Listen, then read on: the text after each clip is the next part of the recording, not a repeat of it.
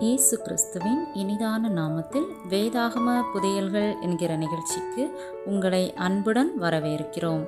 இன்றைய நாளிலும் வேதாகம விளக்க உரை என்கிற தலைப்பில் ரூத் புத்தகத்தை குறித்து ஒரு சில கருத்துக்களை தியானிப்போம். அதிகாரம் ஒன்று. எலிமலேக்கின் குடும்பம் மோவாப்புக்கு குடிமாறி போகிறது. ஒன்று ரெண்டு வசனங்கள். நகோமியும் ஓர்பாலும் ரூத்தும் விதவையாகிறார்கள். மூன்று முதல் ஆறு வசனங்கள். நகோமிக்கும் அவளுடைய கர்த்தருக்கும் ரூத் உண்மையாக இருக்கிறாள். ஏழு முதல் பதினேழு வசனங்கள். ரூத்துடன் நகோமி எருசலேமுக்கு திரும்புகிறாள். பதினெட்டு முதல் இருபத்தி இரண்டு வசனங்கள். அதிகாரம் இரண்டு. போவாசின் வயலில் கதிர் பொறுக்க ரூத் போகிறாள். ஒன்று முதல் மூன்று வசனங்கள்.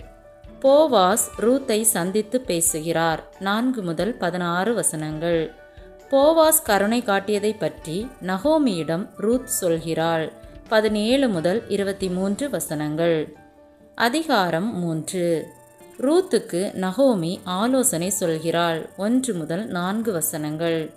போரடிக்கும் களத்தில் ரூத்தும் போவாசும். ஐந்து முதல் பதினைந்து வசனங்கள்.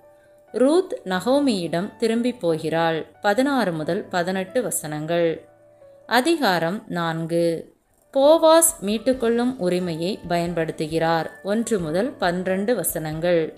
போவாஸுக்கும் ரூத்துக்கும் ஓபேத் பிறக்கிறார். பதிமூன்று முதல் பதினேழு வசனங்கள். தாவீதின் வம்சாவளி. பதினெட்டு முதல் இருபத்தி இரண்டு வசனங்கள். இன்னொரு வேதாகம புதையலுடன் மீண்டும் சந்திப்போம்.